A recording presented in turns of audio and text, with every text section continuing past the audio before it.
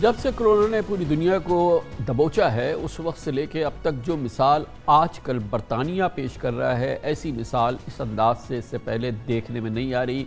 एक जानब इस मुल्क में कोरोना मरीजों की तादाद में मुसलसल भरपूर इजाफा हो रहा है। दूसरी जानब बरतानिया ने योम कोरोना से आज़ादी शुरू कर दी है और कोरोना से आज़ादी का एक ज़माना शुरू कर दिया है। बरतानिया में एक जानब कोरोना पाबंदियाँ उठाकर पूरी दुनिया को शशदर किया है, मगर उस वक्त किया है जब मज़बूत केसेस की हफ्तावार शरह के अतबार से बरतानिया यूरोप में पहले नंबर पर और दुनिया में इस वक्त दूसरे नंबर पर आ चुका है। कल अड़तालीस हज़ार से जायद कोरोना केसेस बरतानिया में रिपोर्ट हुए।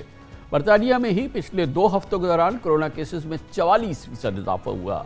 इस हफ़्ते तीन लाख तेरह हज़ार केसेस सामने आए। रोज़ाना पैंतालीस हज़ार के लगभग केसेस रिपोर्ट हो रहे हैं, लेकिन इसके बावजूद क्या किया बरतानवी हुकूमत ने? बरतानवी हुकूमत ने फैसला किया और बरतानवी हुकूमत और अवाम ने कोरोना के खौफ को खुदा हाफिज कहने का फैसला किया है। कल रात से बरतानिया में कोरोना की तमाम पाबंदियाँ उठा ली गई। आज से बरतानिया में कोरोना पाबंदियाँ ख़त्म होने पर सिनेमा, थिएटर इंडोर डाइनिंग और तकरीबात में सौ फ़ीसद मेहमान बुलाने की इजाज़त दे दी गई है। एस ओ पीज़ को अलविदा कह दिया गया। कल रात बड़ी तादाद में लोगों ने, पूरे बरतानिया ने बल्कि योम आज़ादी कोरोना मनाया। लोग खुशी के मारे सड़कों पर निकल आए, आतिशबाजी के मुजाहरे हुए। लंदन की सड़कों पर जश्न का समा नज़र नज़र आया। नाइट क्लब्स और पब्स और बार्स की रौनकें लौट आई, वो समा था जो दुनिया ने, कोरोना की दुनिया ने कभी नहीं देखा। बरतानिया के कोरोना से आज़ादी का दिन और आज़ादी का जश्न का ऐलान बरतानवी हुकूमत की जानब से उसके वज़ीर अजम बोरिस जॉनसन ने किया। बोरिस जॉनसन को डेल्टा वेरिएंट का खौफ ज़रूर है, लेकिन वो अपने वैक्सीनेशन प्रोग्राम के हवाले से बहुत पुरमाद और मुतमिन नज़र आते हैं। कल कोरोना पाबंदी उठाने के साथ ही उन्होंने अवाम से मुहतात रहने की बार बार दरख्वास्त की और आपको ये बता दें हम कि इस वक्त बरतानिया के वज़ीर सेहत कोरोना पॉजिटिव हो चुके हैं। वज़ीर अजम बोरिस जॉनसन और वज़ीर ख़जाना इस वक्त आइसोलेशन में हैं क्योंकि वो वज़ीर ख़जाना यानी कि, और क्योंकि वो वज़ीर सेहत से वो मिलते रहे थे। वो इस वक्त आइसोलेशन में हैं, मगर बहरहाल बरतानिया से कोरोना की आज़ादी के प्लान पर, उनके ऐलान पर उसका कोई असर नहीं है। हालिया दिनों में बरतानिया में एक माह तक यूरो फुटबॉल कप के धूमधाम से मैचेस हो चुके हैं। इक्यावन मैचेस के दौरान स्टेडियम खचा खच भरे रहे। पिछले हफ़्ते तक विम्बल्डन टेनिस टूर्नामेंट चलता रहा। इन दिनों पाकिस्तान और इंग्लैंड की क्रिकेट सीरीज़ जारी है, जिनमें हर मैच में हज़ारों शायकीन कंधे से कंधा मिलाकर मैच देख रहे हैं। बरतानिया में इस गैर मामूली समा पर, इस गैर मामूली हालात पर बात करने के लिए लंदन जाएँगे, जहाँ पर हमारे ब्यूरो चीफ अजहर जावेद मौजूद हैं। बहुत बहुत शुक्रिया अजहर जावेद साहब। आप बताइएगा, ये अजब माहौल है, यहाँ पैंतालीस पैंतालीस हज़ार पॉजिटिव केसेस डेली आ रहे हैं और कल जो है, लोग सड़कों पे निकल आए, बार्स, पब्स भर गए। क्या सूरत हाल है और ये क्या, ये मिक्स कैसे को एग्जिस्ट कर रहा है? जी, कामरान साहब, बहुत शुक्रिया। कामरान साहब, यहाँ बरतानिया में जो चार डिवॉल्व नेशन हैं, उनमें इंग्लैंड नॉर्दर्न आयरलैंड स्कॉटलैंड और वेल्स ये चारों अपने सेहत के मामला डिफरेंट देखती हैं। इंग्लैंड के जो मामला हैं, वो बरतानी वजी अजम बोरिस जॉनसन के डायरेक्ट हैं और इंग्लैंड में ये डे जो, ये दिन है 19 जुलाई को तकरीबन तमाम रिस्ट्रिक्शंस खत्म कर दी गई है, बाकियों में कुछ कुछ है। आज का जो जो हम समा देखते हैं कि बरतानवी ये जो इंग्लैंड के अवाम है, उन्होंने एक नई ज़िंदगी स्टार्ट की है।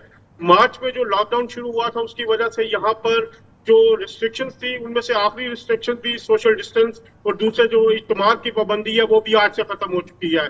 सिर्फ़ जो पब्लिक ट्रांसपोर्ट है लंदन की उस पर मास्क लेना, वो लाजमी करार दिया गया। इसके अलावा हॉस्पिटल्स में भी मास्क की पाबंदी होगी। लेकिन एक बहुत बड़ा स्टेप है, इस वक्त जो हम ये लेन जो ईस्ट लंदन की एक बहुत बड़ी कारोबारी मरकज है, पाकिस्तानी निजात लोगों का, यहाँ पर भी आप देखें तो यहाँ पर भी लोग जो हैं, बगैर मास्क के दुकानों में आ जा रहे हैं। तो एक जो जो एक खौफ था, बेसिकली जो मेंटल स्ट्रेस था, वो आज खत्म हुआ है। जो गो के केसेस के बढ़ने की वजह से बरतानवी हुकूमत परेशान नहीं है, उनका ये कहना है कि हम अगले एक से दो महीने में अपनी पूरी पॉपुलेशन को फुली वैक्सीनेट करेंगे। बरतानवी हुकूमत का ये भी कहना है कि 100 से 200 के करीब अमवात हो सकती हैं अगले दो से तीन महीने में डेली। लेकिन उनका ये कहना है कि कारोबार को खोलना लाजमी है, कारोबार को खोला जा रहा है। इसके अलावा तीसरी वेव का जो एक हाइट है, उसकी भी तो की जा रही है। पिछले दिनों मैं खुद भी पाकिस्तान और इंग्लैंड के जो मैचेस हैं उनको कवरेज के लिए ग्राउंड में मौजूद था। ग्राउंड में 20-20, 25-25 हज़ार तमाशाई एक दूसरे से जुड़ के बैठे हुए थे। बगैर किसी मास्क के बैठे हुए थे। कोई खौफ नहीं था।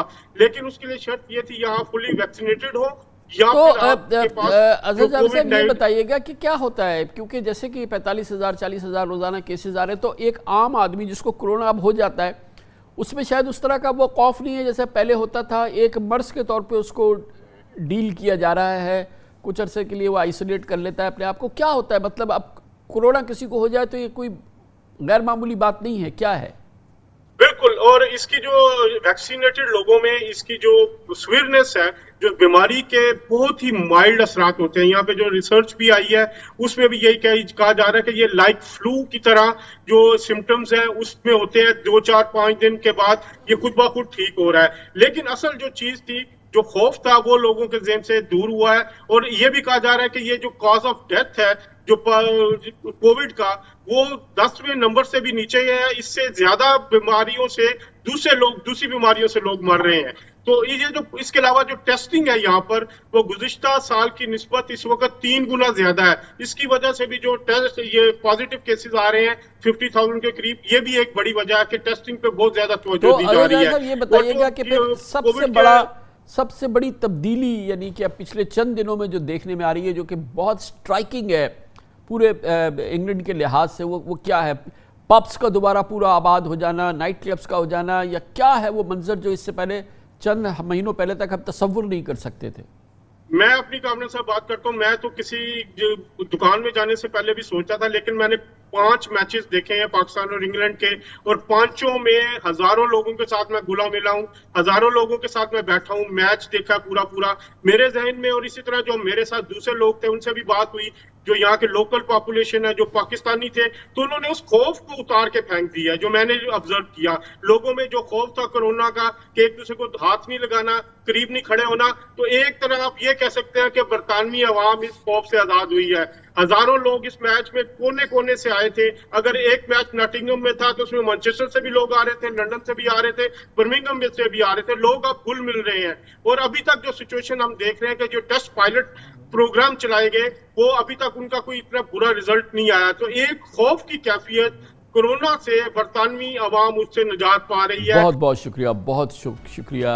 बहुत ही दिलचस्प खबर है, बहुत ही खुश खबर है, मगर ये उन लोगों के लिए, उन ममालिक के लिए है जो कि वैक्सीन लगवा रहे हैं। वैक्सीन लगवा लें, जितनी भी ज़्यादा वैक्सीन लगाएँगे बरतानिया जैसी सूरत हाल कि हम करीब से करीब तर होते चले जाएँगे। और क्योंकि ये ईद का समय है, ईद की आमद आमद है, इस दौरान अगर आपने वैक्सीन नहीं लगाई है तो बहुत ही ज़्यादा एहतियात करें। और फिर जैसे ही ईद की छुट्टियाँ ख़त्म हो तो अपने होते सोतों को सबको वैक्सीन लगवा दें। यही ज़रिया है कोरोना से बचाव का और कोरोना के सामने रुकावट का।